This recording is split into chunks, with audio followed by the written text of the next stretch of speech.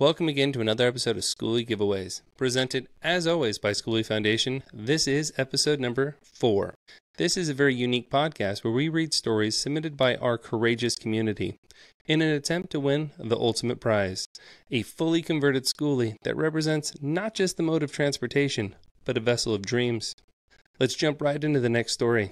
Good afternoon. I'm Nick. My brother always told me that I'd never be satisfied unless I lived a life worthy of reading about in a book. So, I've been writing a book. The story starts at many places, but for the sake of this message, I'll start it within the last few years. I suppose my story starts, as many do, with a series of heartbreaks. First, the most mild of which, a common breakup, which through the mundane still stung quite a bit. This was compounded a few weeks later when my career as a content creator through guilt of association became a target of a group with a difference in opinion of my own. This resulted in being doxxed, having threats sent to me with Google pictures of my apartment. There were a few prowlers who came sniffing around, but I didn't leave the house much, so they scattered when spotted. Nevertheless, it killed my career because the influx of hate critics essentially convincing the algorithm that my content was favored by those types of individuals. However, these were minor inconveniences compared to what came after. As 2020 descended upon the planet, freezing the world almost in place, my father suffered a stroke and a week later passed away.